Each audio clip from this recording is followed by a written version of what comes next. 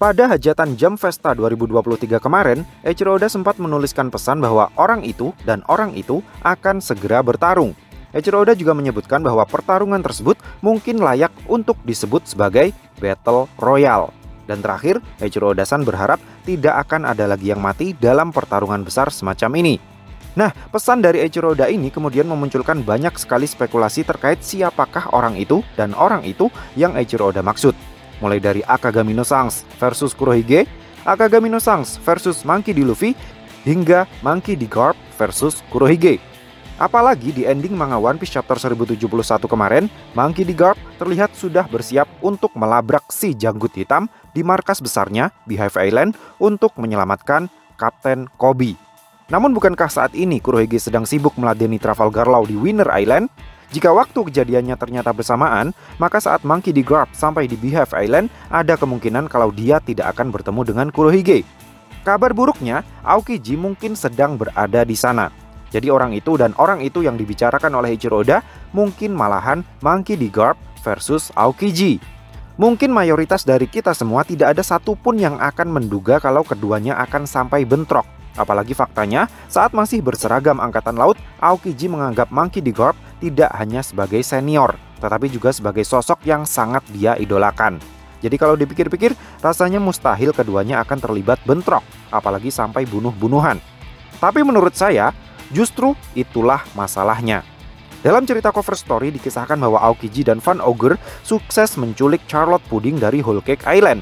Sama seperti kalian, awalnya saya juga menduga kalau tujuan Kurohige menyuruh Aokiji dan Van Ogur menculik puding adalah karena Kurohige membutuhkan kemampuan spesial ras mata tiganya puding untuk bisa menerjemahkan tulisan-tulisan pada batu poneglyph. Tapi kemudian saya menemukan sesuatu yang aneh di manga One Piece chapter 1064. Kurohige yang yakin kalau salah satu dari Luffy, Eustace Kid atau Trafalgar Law pasti akan memilih jalur tengah begitu keluar dari negeri Wano, memutuskan untuk menyergap salah satu dari mereka di Winner Island. Kurohige bermaksud untuk merampas semua salinan Red Poneglyph yang dimiliki oleh mereka, termasuk yang baru saja mereka dapatkan dari tangan Kaido dan atau Big Mom.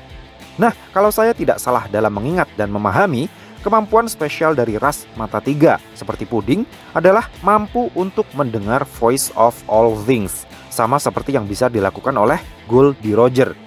Namun setahu saya, Goldie Roger tidak pernah diperlihatkan mampu mengetahui informasi dalam sebuah koran hanya dengan menggunakan bakatnya itu. Maksud saya begini, mungkin dengan kemampuan mendengar voice of all things, Charlotte Pudding akan mampu mengetahui informasi yang tertulis dalam sebuah batu poneglyph karena batu-batu tersebut seolah berbicara kepadanya. Namun jika tulisan-tulisan poneglyph tersebut sudah disalin ke dalam selembar kertas, puding tidak akan bisa tahu informasi apa yang tertulis di sana karena puding tidak bisa membaca dan menerjemahkan tulisan poneglyph seperti Nico Robin. Dia hanya bisa mendengarkan sang batu poneglyph berbicara kepadanya dengan kemampuan voice of all things. Jadi menurut saya, agak aneh rasanya jika Kurohige menculik puding hanya demi kekuatan mendengar voice of all things dari mata ketiganya. Dan itu jadi lebih aneh lagi karena Kurohige membawa puding ikut dalam penyergapan di Winner Island Sementara Kurohige sendiri sudah jelas mengatakan bahwa yang dia incar adalah salinan red poneglyph, bukan batu-batu poneglyph yang asli. Sehingga menurut saya, yang diincar Kurohige dari puding bukanlah kemampuan mata ketiganya, melainkan kekuatan buah iblisnya.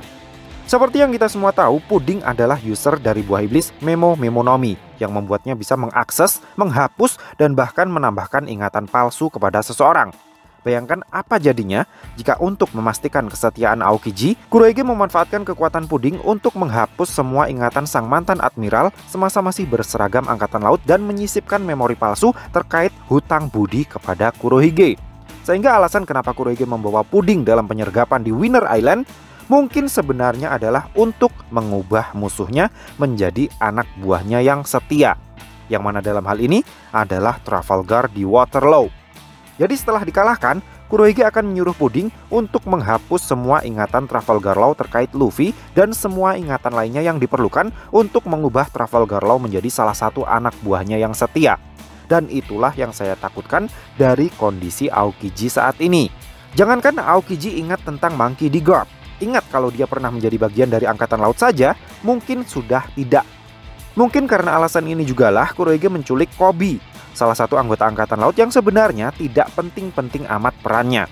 Kurohige mungkin sangat yakin dengan menculik Kobe, maka mentornya, yaitu Monkey D. Garp, tanpa pikir panjang lagi akan langsung datang untuk menyelamatkannya.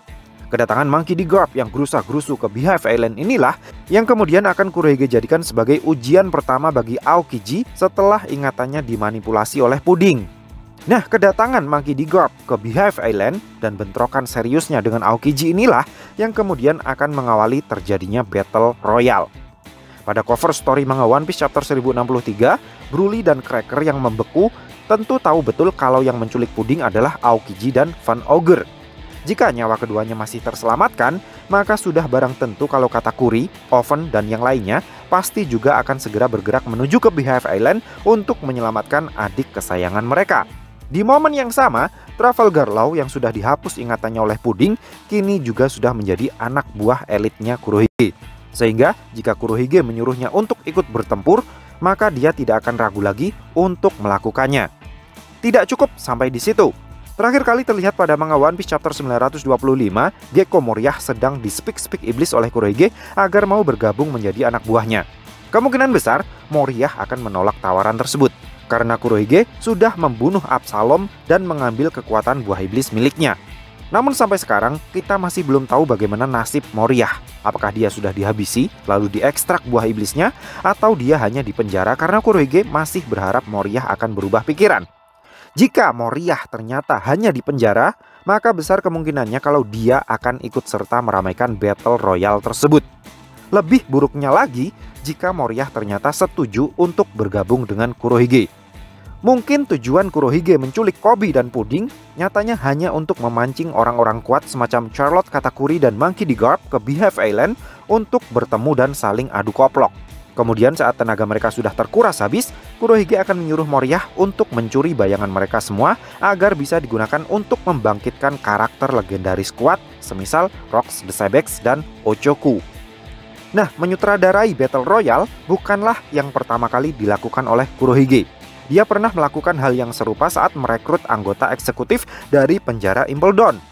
Jadi menurut saya, Battle Royale yang dimaksudkan oleh Ichiro Oda pastilah akan terjadi di Beehive Island dan terjadi akibat politik Davide et Imperanya Kurohige. So, piye menurut Mucah?